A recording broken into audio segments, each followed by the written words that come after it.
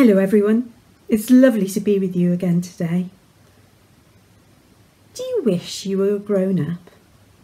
Are there lots of things you'd like to do when you grow up? Drive a car? Pilot a plane? When you were grown up, will you remember what it was like to be a child? Will you remember how you feel today? Let's hear about one boy's memories. He was a child about your age the Bible doesn't tell us what he was called, so we have called him Janai.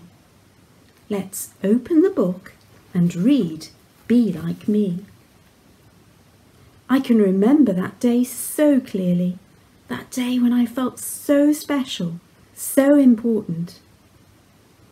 I was only a young boy, no more than nine or ten.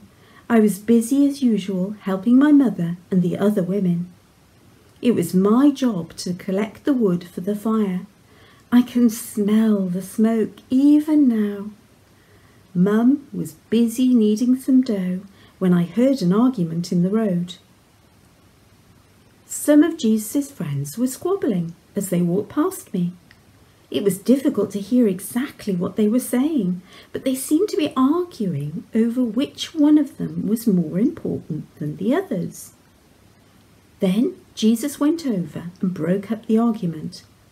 Once everything had calmed down, I heard my name being called, Janai, come over here. I looked up in surprise. It was Jesus' voice. He was resting by the roadside and all the men were standing around him. He looked straight at me and called again, Janai, come here, come here to me. I glanced at Mum. I wasn't sure what to do. She nodded her head towards Jesus and said, Go on then, it's okay. I put down the wood and wiping my hands on my shirt, I walked over to Jesus and his friends. Jesus welcomed me with a smile and turned me around to face the men. I looked up at them, wondering what he would say. My friends, he said, if you want to get into the kingdom of heaven, you need to be like Janai. You need to become just like a little child. Don't waste time arguing about who is more important.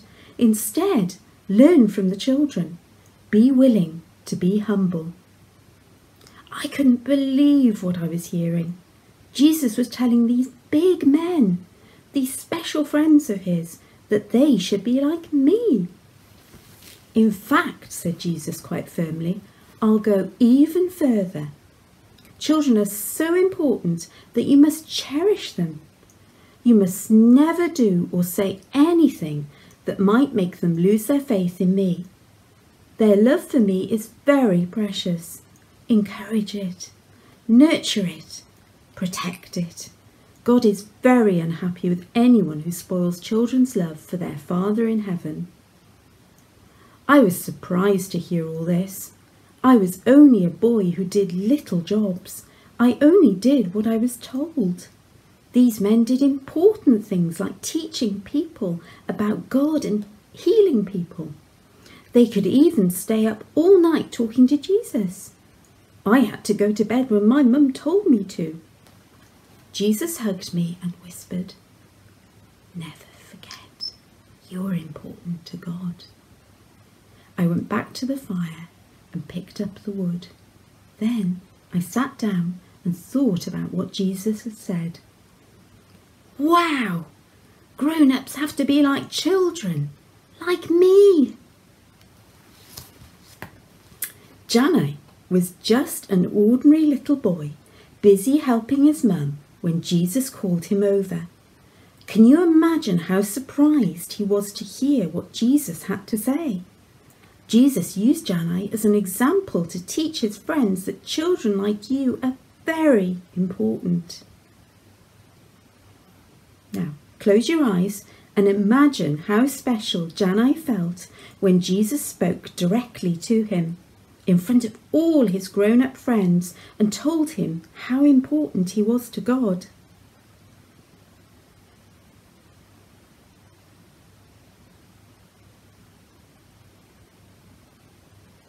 Now, I'm going to say a prayer, and if you want to make it your prayer, say Amen at the end.